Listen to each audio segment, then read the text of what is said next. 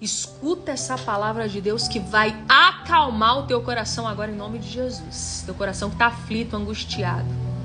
Davi é ungido rei em um dia e no outro dia ele volta para o campo como pastor de ovelhas. Como assim? Eu sou rei. Como que a minha posição ainda não mudou? Tem momentos da nossa vida que nós vamos ter a promessa, a unção, a palavra declarada do Senhor, mas nós não vamos poder subir no trono ainda. Davi, ungido rei, continua trabalhando no pasto com as ovelhas.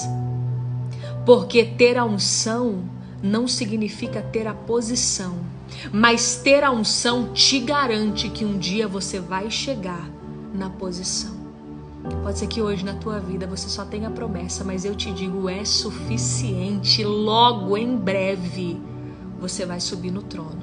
A única coisa que você precisa fazer e a palavra que você tem que guardar no teu coração durante esse tempo, perseverança. Escreva ela em lugares que você vê todos os dias. Perseverança. É isso que vai te levar para o trono. Você crê? Deixe seu amém aqui nos comentários. Se você ainda não me segue, passe a me seguir.